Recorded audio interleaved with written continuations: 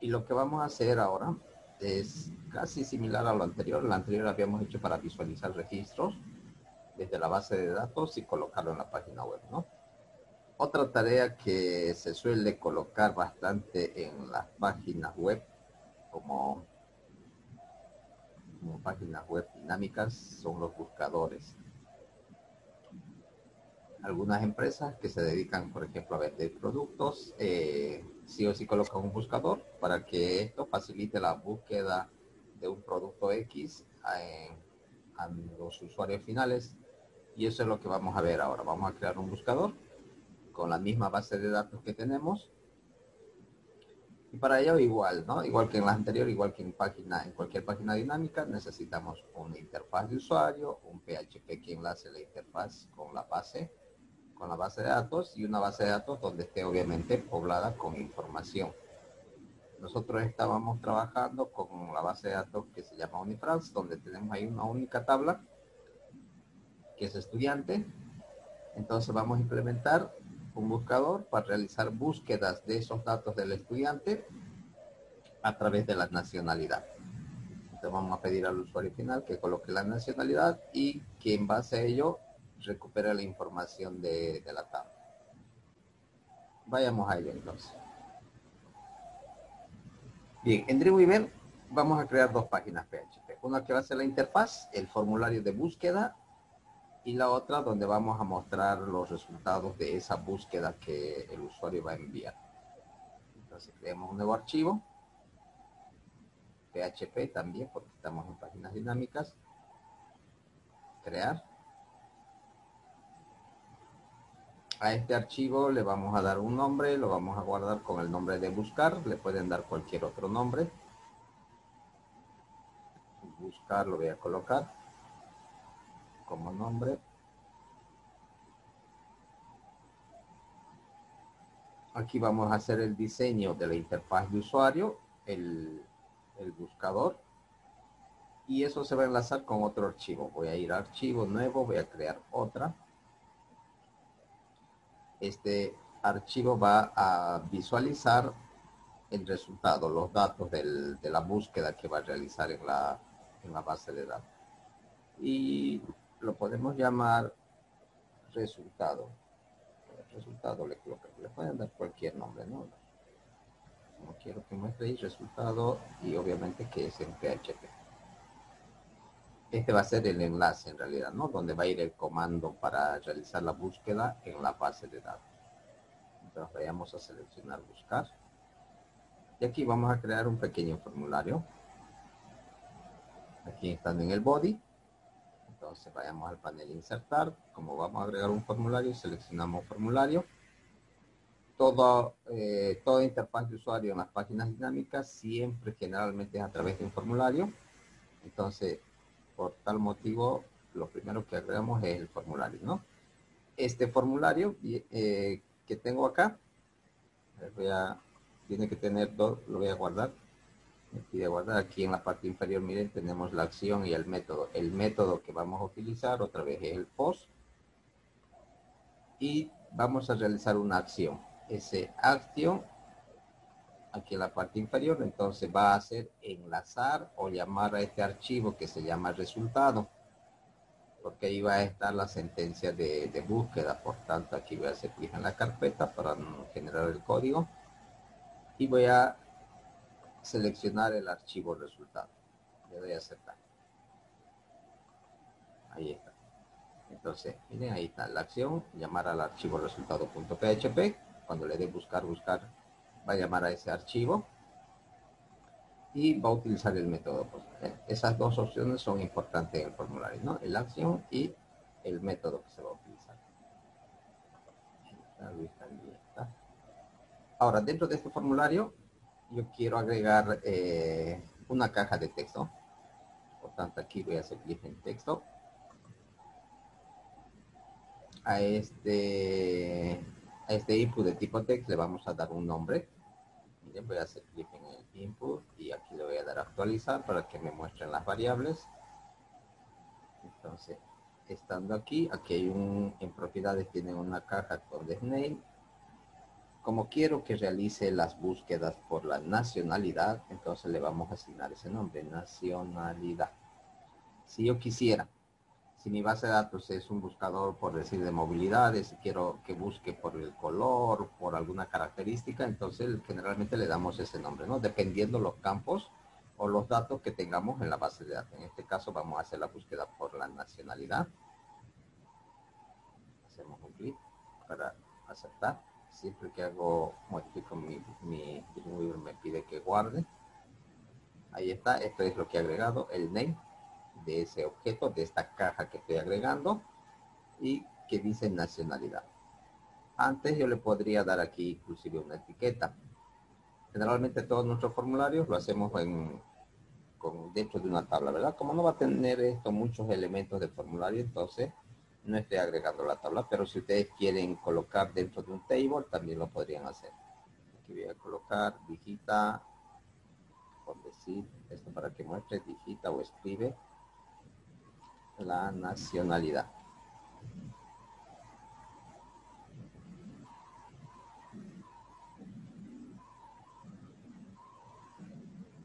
Esta es la interfaz. Aquí el usuario escribe la nacionalidad y tiene que haber un botón que le va a realizar la acción que diga enviar o realizar búsqueda o buscar. Y eso lo vamos a agregar igual.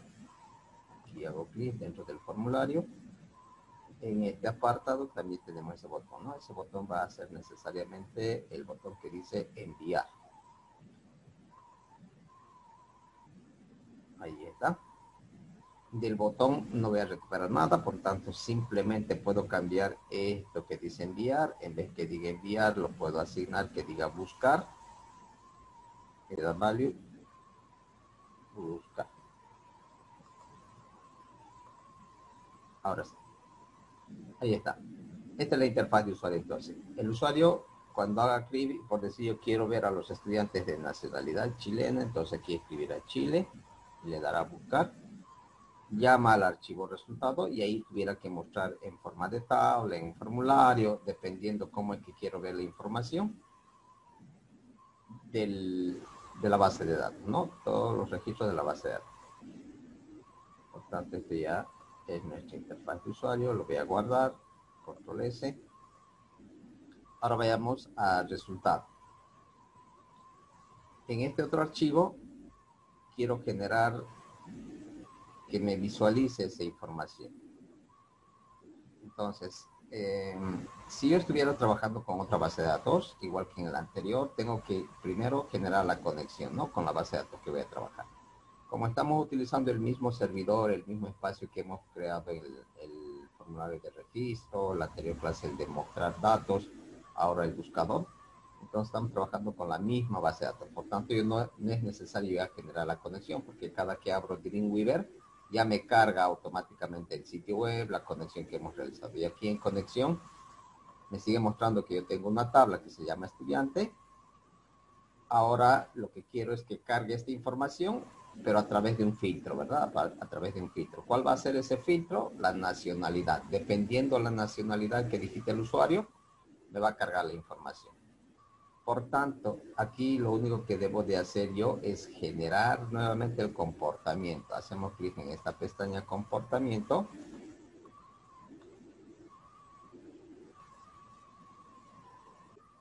Pero tengo que mostrar ahí. Siempre, selecciono el archivo. A veces eh, un poco en reconocer el de Tiene que activarse este signo más porque si no se activa, no vamos a poder agregar ninguno de los comportamientos de, base de datos. Hacemos clic aquí en el signo más y lo que vamos a hacer es nuevamente un juego de registro, porque lo que quiero es mostrar, igual que en el anterior caso, solamente que ahora vamos a hacerlo con un criterio, ¿verdad? Entonces, juego de registro. Aquí por defecto ya me está mostrando en la opción, seguramente a ustedes le está mostrando de esta manera, ¿verdad? Juego de registros, aquí pueden hacer clic en esta opción simple, porque esta es la vista avanzada. Hagamos clic en la, en la vista simple para eh, entender mejor cómo es que se va a comportar esto. Miren, estos datos se van a cargar nuevamente en un record set. ¿Qué conexión estamos utilizando? La que hemos definido que se llama connection. Ahí está nuestra base de datos eh, Unifrance. La tabla que tenemos en Unifrance es estudiante, está bien. Si yo tuviera otras tablas y quiero agregar, entonces siempre tiene la posibilidad ustedes aquí de seleccionar la tabla, ¿no? Como tenemos una única tabla en esa base de datos, eso es lo que nos está mostrando. Que voy a cargar todas las columnas de esta tabla. Ahora, lo importante está aquí abajo. Eh, como quiero hacer un filtro por la nacionalidad, entonces aquí donde dice filtro, seleccionamos nacionalidad, porque quiero filtrar por este campo. Si yo quisiera filtrar por el nombre, por decir la página web, quiero que las búsquedas se hagan por el nombre, selecciono el nombre, puedo filtrar por el sexo, dependiendo, ¿no? Eso va a depender por qué campo quiero hacer el filtro en este. Para este ejemplo queremos utilizar la nacionalidad. Ahora, eh, como es un campo de tipo texto, recuerdan que cuando estábamos definiendo la base de datos a nacionalidad le habíamos dado campo de tipo varchar. Por tanto, aquí el operador lógico o el operador de relación que se acomoda es exactamente la igualdad. Por eso Dreamweaver me lo está colocando que sea una coincidencia exacta. Pero si fuese un campo numérico, por decir, yo quisiera hacer búsquedas por la cantidad, por el precio, etcétera, campos de tipo numérico, ahí pudiese utilizar mayor, que, menor que, mayor igual que, cualquiera de estos, ¿no? Que sea diferente, no igual, que empiece con alguna letra, que termine con alguna letra, etcétera. Entonces aquí la primera está bien, porque queremos que sea una coincidencia exacta. Ahora aquí en la parte inferior me dice un parámetro. Si hago clic en esta pestaña, que, eh, que voy a elegir una variable de formulario porque habíamos eh, insertado un formulario que es una caja de texto en realidad y eso va a consistir en una variable de formulario y que esa caja por defecto, miren Dreamweaver aquí también me lo está agarrando que llama, que lo coloca nacionalidad. Si en algún motivo esto no estuviese, entonces yo tengo que escribir ahí el nombre que le pusimos aquí al, a, la, a la pestaña buscar, ¿verdad? Al archivo buscar a la caja que le hemos dado un nombre. Entonces nosotros le dimos nacionalidad y eso es lo que ya lo está tomando el Dreamweaver. Pero vamos a verificar. Voy a hacer clic en prueba. Siempre verifiquen aquí. Miren. Esto es lo que tuviera que aparecer. Esto me lo está generando Dreamweaver. Me está diciendo, como he colocado un parámetro, por decir, el usuario final envió la página web Chile. Entonces, le doy a aceptar. Y ahí está. Miren está extrayendo todos los datos de la tabla estudiante, pero solamente aquellos que son de nacionalidad chilena, ¿sí? Me está sacando. Quiere decir que los parámetros que todo lo que he elegido está correcto, entonces doy aquí a aceptar. Ahora si vamos a avanzada, miren, ha generado una sentencia. A, voy a ir a avanzada. ¿Y qué es lo que ha generado? Un select nuevamente. La anterior habíamos hecho el select, pero sin una condición, sin una condición para filtrar la información. Ahora simplemente lo que estamos añadiendo de alguna manera es este filtro, el filtro web, donde aparte de buscar la información, le vamos a aplicar el filtro de nacionalidad. Y eso es lo que está agregando aquí. Miren, SQL, asterisco from estudiante, web, nacionalidad. Si yo hubiese colocado directamente esta sentencia, igual tuviera que aceptármelo, ¿no? Igual tuviera que aceptar. Además, está generando una variable Dreamweaver que llama callName. Esa variable está aquí abajo. Que si yo verifico, miren, si le doy aquí editar, porque eso lo ha generado automáticamente Dreamweaver. De alguna, de alguna manera este código nos es familiar también. Miren, está colocando un nombre a la variable. El Dreamweaver lo ha asignado este, en este caso callName, que es de tipo texto, esta variable, su tipo de datos. Y aquí la variable global, ¿no? Como estamos trabajando con el método POST, está, está utilizando en realidad esa variable, pesos guion bajo POST, y el nombre del campo, ¿no? Que se llama nacio, nacionalidad. Entonces aquí no vamos a hacer ningún cambio, porque ya lo ha utilizado o lo ha generado el libro. Si todo lo, si todo lo tienen ahí correctamente, le damos a aceptar. Me dice que si deseo guardar, sí. Y ya está. Aquí está todo el código que ha generado. Y lo único que podemos ver aquí que se ha agregado esta sentencia. Miren, el CL, asterisco from estudiante, donde la nacionalidad es igual a lo que el usuario me va a enviar en esta variable, ¿no? En, en, el campo nacionalidad. Esa va a ser el filtro. Si fuese por el nombre, aquí tuviera que quitar el nombre. Si fuese por el color, si fuese un producto, etcétera. Entonces, dependiendo los datos que tengamos en, la, en el repositorio, ¿no? Del gestor. Ahora, habíamos visto que esto lo único que está haciendo es cargar a la memoria. ¿Qué es lo que tengo que hacer? Mostrar esto, porque eso tiene que estar escrito en la página web. Por tanto, como en el anterior caso, vamos a mostrarlo aquí, dentro del body, en una tabla también. Entonces voy a ir otra vez a HTML, voy a generar esta tabla. Eh, cantidad de filas 2, columnas 3, está perfecto. Aquí el encabezado en la parte superior van a ser los rótulos. Le doy a aceptar.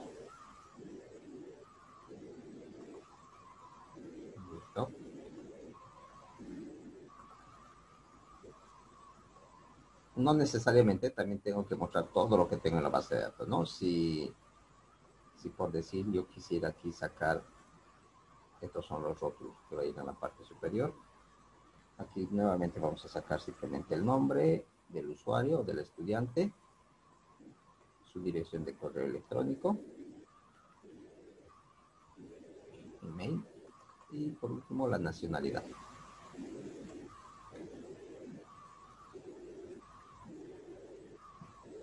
Esto va a depender de si yo quisiera mostrar todo, entonces voy generando más filas, ¿no? Hubiese creado más columnas para mostrar mm, el comentario, el ID, etcétera. Eso va a depender si ustedes quieren mostrar toda la información de la tabla, entonces una columna para, para cada campo. Para este ejemplo solamente vamos a sacar el nombre, email y nacionalidad. En la segunda fila, ahora yo tengo que ir escribiendo. Recuerdan que cuando hicimos la prueba me mostraba cuatro registros.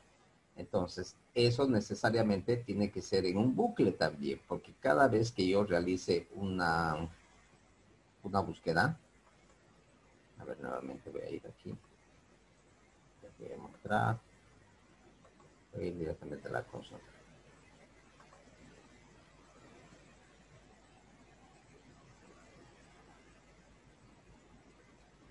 El sistema envía un,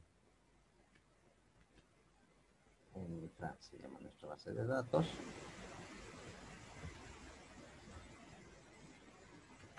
select asterisco from es la sentencia que estamos enviando en, el, en realidad.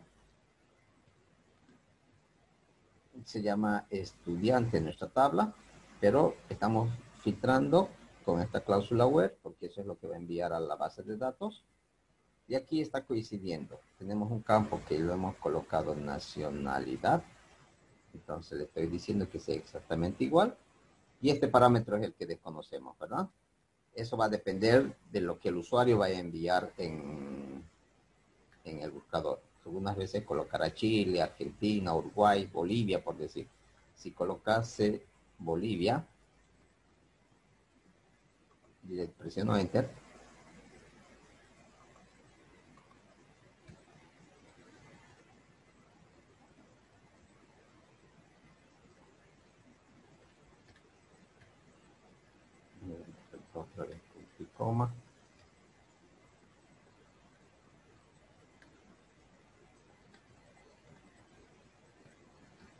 Ya no existe, dice. Vamos a volver a colocar aquí.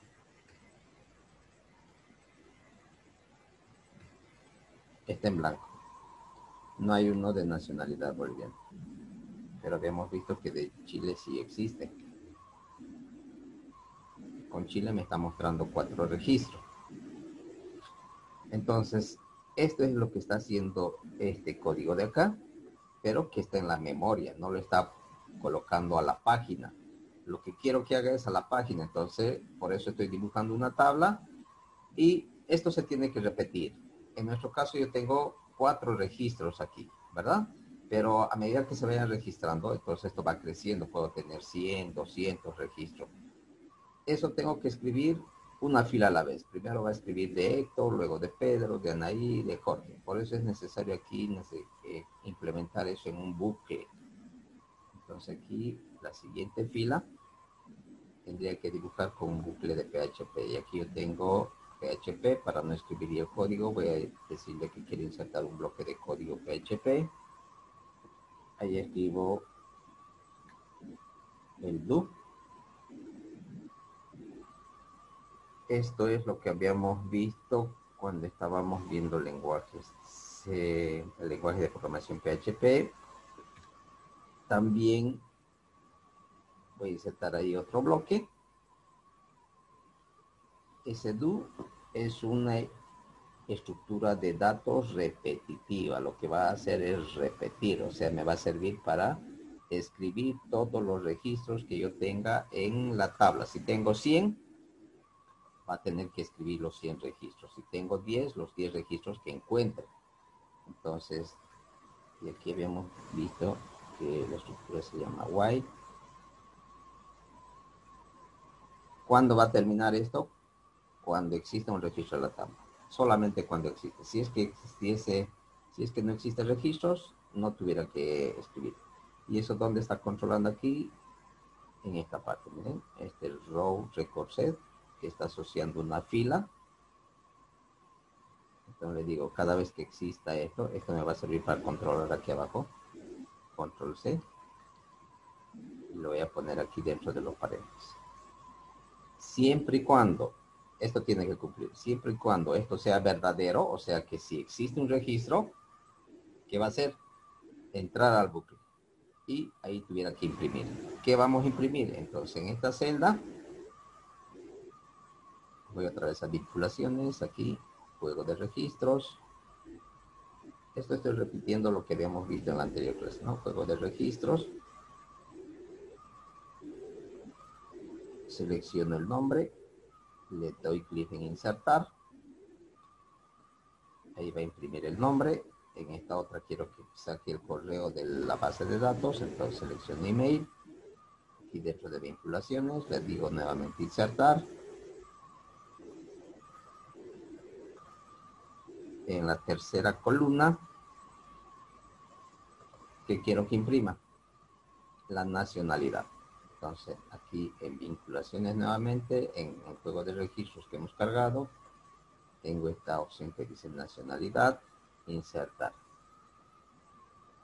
Entonces, de, este récord de registros, de esa fila, porque ahí está tomando la primera fila, que voy a sacar el nombre, luego su email y finalmente la nacionalidad, solo esas tres.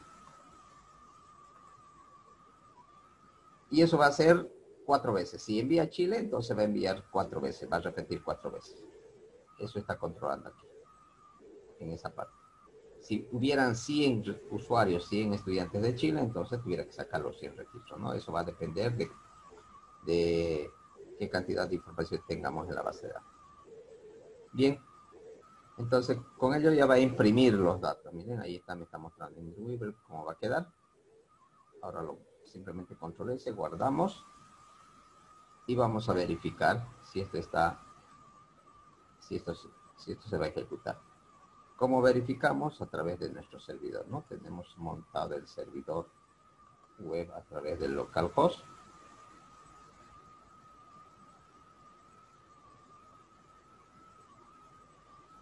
En el localhost eh, tengo que llamar al archivo buscar porque ahí está el formulario que el usuario va a visualizar en su página web, el buscador. El usuario no interactúa ni con la base de datos ni con, el, ni con el PHP, simplemente interactúa con la interfaz de usuario. Esa interfaz de usuario está en esta carpeta, en prueba base de datos, voy a elegir y aquí está buscar.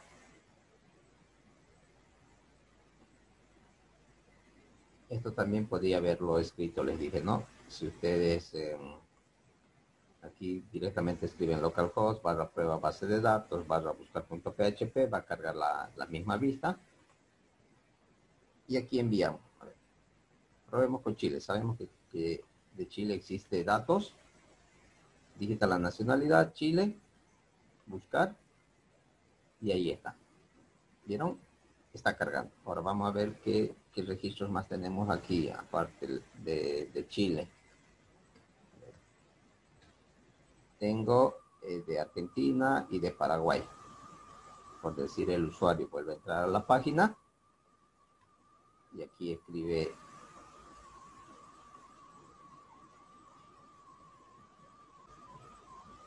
le doy buscar y ahí está, está recuperando, ¿vieron? Está recuperando Paraguay. Entonces, aquí nosotros habíamos colocado eh, una caja de texto, pero para que esto sea mucho más fácil, como es la nacionalidad, incluso le podemos dar la alternativa de un botón de selección. Aquí hacemos clic y simplemente que el usuario seleccione por qué nacionalidad va a elegir y al darle buscar tuviera que realizar la búsqueda también, ¿no? Porque aquí el usuario puede escribir paraguaya, chilena, por decir chileno, entonces como en la base de datos no está escrito esos nombres de chileno, chilena, entonces va a ser un poco ambiguo la búsqueda. Siempre hay que hacer que el usuario, para el usuario, la interfaz de usuario sea mucho más fácil, fácil de utilizar, ¿no? Que sea fácil de utilizar. Eh, creo que yo tengo un problema con la versión de eh, de PHP. Ya. ¿Qué ha pasado? A ver, coméntame. Eh, cuando uso en el Dreamweaver, eh, o sea, traté de enlazarlo con la base de datos, no me no me reconoce el programa, pero cuando le bajo de versión de PHP sí lo reconoce, pero cuando hago eso el navegador ya no lo reconoce. Ya, eso es, mira, eh, aquí en edición. Recuerdan que al principio cuando estábamos eh, viendo Dreamweaver hay un apartado donde podemos elegir la versión del PHP. He entrado a edición, preferencias, aquí PHP. Y aquí pueden cambiar la versión del PHP que están utilizando. Esa es una posibilidad. La otra es que generalmente cuando agregamos la última versión del servidor del one server, entonces ahí es donde se tiene problemas. Como Dreamweaver es una tecnología propietaria, habíamos dicho, entonces no siempre va a la par del, desarrollo del, del, open source, del código abierto. Por tanto, yo es por eso que he agregado aquí mi one server es 2.4. Con 2.4 yo no tengo ningún problema a la hora de eh, insertar el código. ¿Dónde, van a tener problemas si están utilizando un web server en la última versión? Porque generalmente Dreamweaver no se actualiza a la par de, las versiones que va saliendo del PHP y todo lo demás. Por eso trabajen con una versión anterior y no van a tener eh, mayor dificultad. Pero si están utilizando una versión actual, entonces donde pueden modificar es aquí en el Dreamweaver y no tuviera que haber ningún problema, ¿ok? Mm, está bien, Lisa, gracias.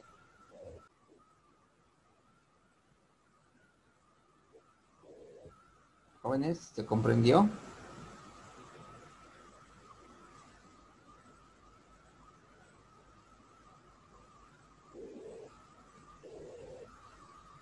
Perfecto.